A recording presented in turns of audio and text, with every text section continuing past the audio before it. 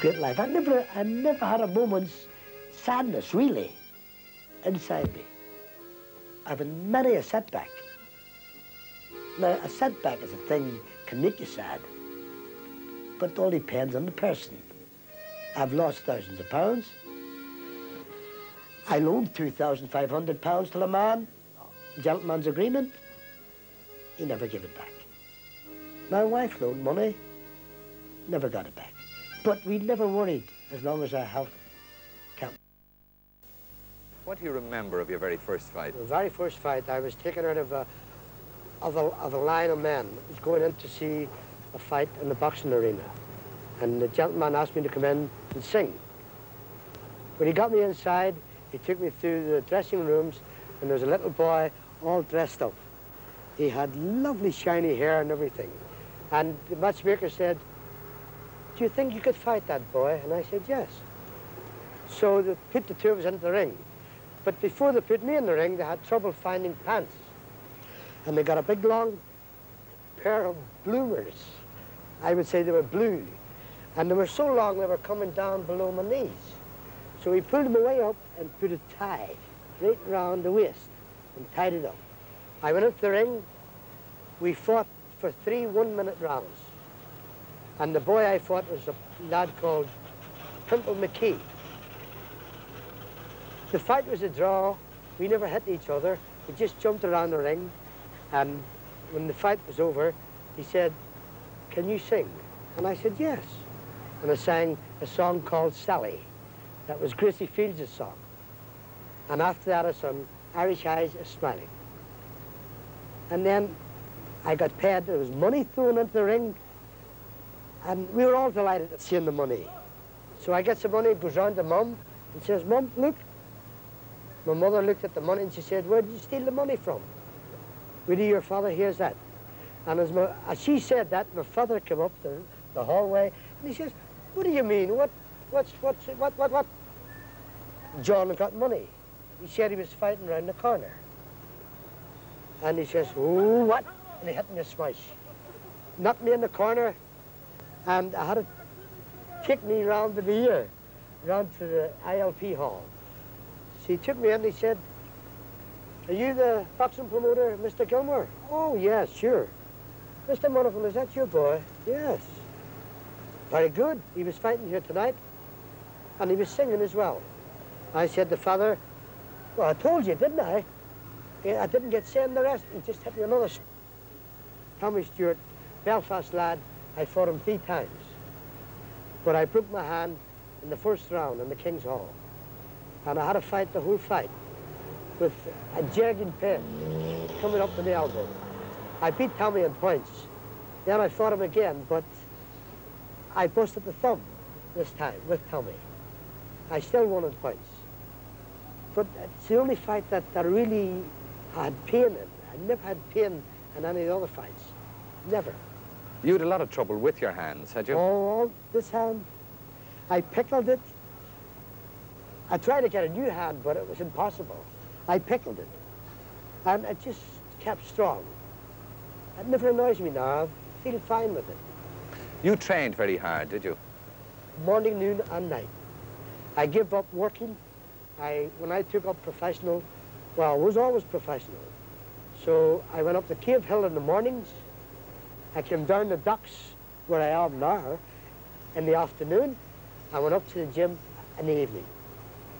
I kept training all the time. What would you say was the biggest hiding you ever gave a boxer? Oh, the biggest hiding I ever gave a boxer was in London, the Olympia. And it was against a very, very, very nice lad, Emile Famechon. He's a brother of Ray Famechon. And uh, he took everything I gave him. From the first round, he was down for a count of nine. And from the first round on up, he took everything. I cut his eyes, I cut his nose, his lips, I busted his cauliflower ear, and it was just like a punch bag. He took everything, I won the fight, and something there, I think, that's lacking in refereeing. I think the referee should have stopped that fight earlier on and saved him a lot of abuse. But he never fought again after that. I'm a happy-go-lucky guy. When I'm in company, uh, I like to see the people happy, and if I'm singing and entertaining, I think I'm making them feel happy. And if they're happy, I'm happy. I lost all my money. Any money I made, I made 20 odd thousand pounds, but it all went away through being too generous and income tax. But I'm still happy. My health's good. I did have an injury in 1963. It does come back on me now and again. My, the bottom of my back was injured, but it's still coming. I'm all right. I feel fine. I'm able to work. Definitely able to work. And I can help some of the boys today that's coming up. I have great knowledge of boxing here, very fresh. Well, now, these days, Rinty, do you find it easy to get work? Well, in a way, yes. It's not too bad, really. But I did love working. I loved driving trucks. I used to drive to Waterford on a big Leyland Super, 20 ton of waste paper going to the National Board in Waterford. And I used to sing on the way. And uh, it sort of slackened off. And they took the lorries off the run. Well, I came back here to Belfast, and I'm working on a good firm here in Belfast, but my back was coming against me, and I was doing heavy work, heavy lifting, and it was getting me down, so I had to give it up. Actually, I'm on the insurance at the moment uh, because of that. My back has been very sore, but I love working. Well, now, you retired from boxing undefeated. Did you ever think of coming back? One time, yes, I did. One time I thought of coming back because it was a necessity. My little girl, Colette, she was two and a half years old. She was stricken down with polio. My funds were very low. The tax and all the friends that didn't pay me back didn't come with the money, and I wanted some money. So I told my manager I would try and make a comeback. I trained very hard for two months and I was feeling very fit and rode away to London. First I rode here to the boxing board and they turned me down. And I rode to London and London turned, it, turned me down. So I had to hit that on the head. I couldn't make, and I was feeling fine. Even, I feel good now. but I couldn't get the license back.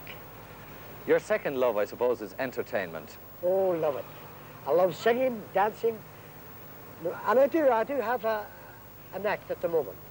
I have a guitar player, we do country and western style, yodeling, tap dancing, impressions of Popeye the Sailor Man, and lots of things just to keep the people all well entertained. And at 51 today, for a man who gave up boxing for health reasons, you look a very healthy 51. Yes, I feel, I feel like 31. I feel smashing bouncing out. Lovely. I could do a left hook just as quick as Rocky could. When Irish hearts are happy, all the world seems bright and gay. And when Irish eyes are smiling, sure they steal your heart away.